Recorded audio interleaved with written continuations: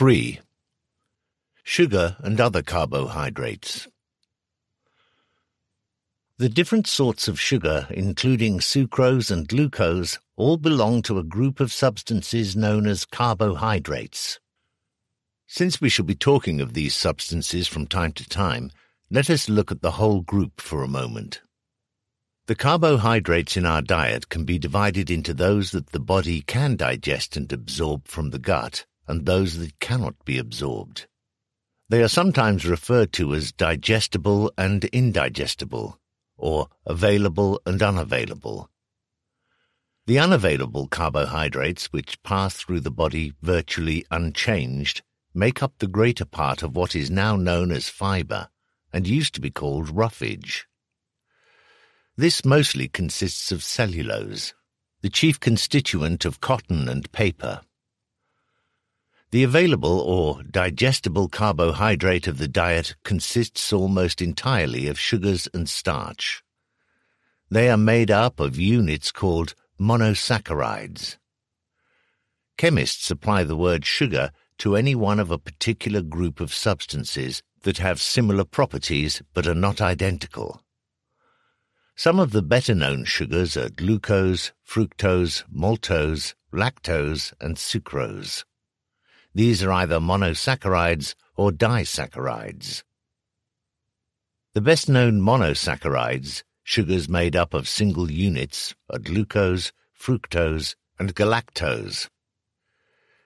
Glucose is the first product of photosynthesis in plants and is the main source of energy for both plants and animals.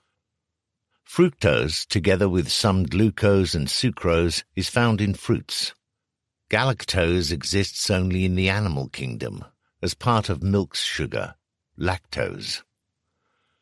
Glucose is a sugar found, usually with other sugars, in some fruits and vegetables. It is very important to biochemists, biologists, and nutritionists because it is a key material in the metabolism of all plants and animals. Many of our principal foods are sooner or later converted in the body to glucose, and it is one of the most important substances that is metabolized, oxidized, or burned in the tissues to supply energy for everyday activities. There is always glucose in the bloodstream, and this is usually called blood sugar. In healthy people, a complicated interaction of a number of hormones contrives to keep the level of blood sugar fairly constant.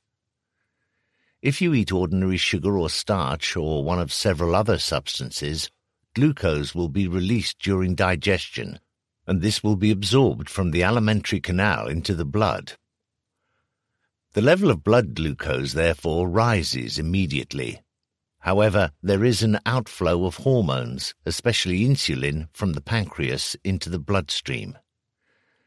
The effect of this is to lower the level of glucose toward its normal level this works chiefly by converting it into a polysaccharide made of many monosaccharide units, called glycogen, and tucking this away in the muscles and liver where it can be called upon again to release glucose if the level in the blood falls.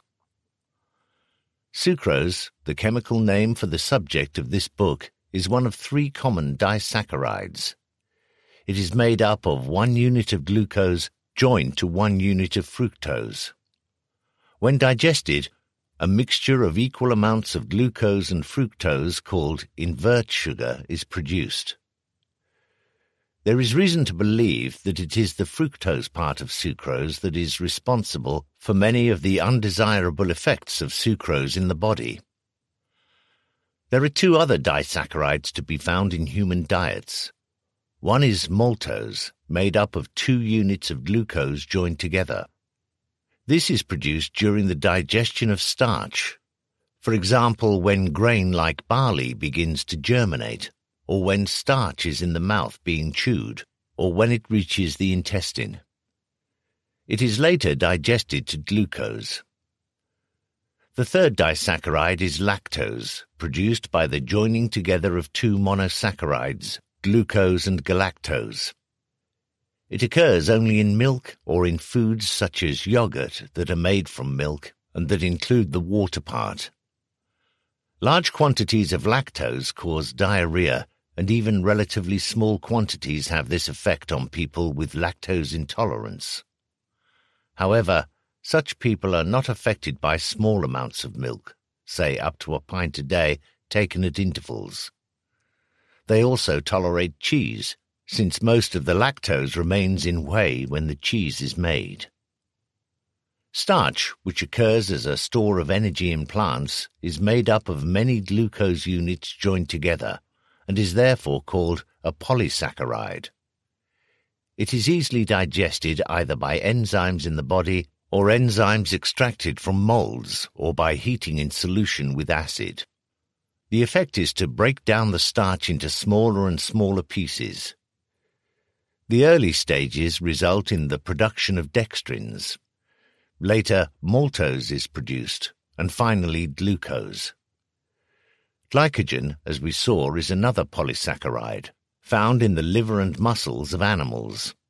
Like starch, it is a store of energy, but unlike starch, it is present in relatively small quantities.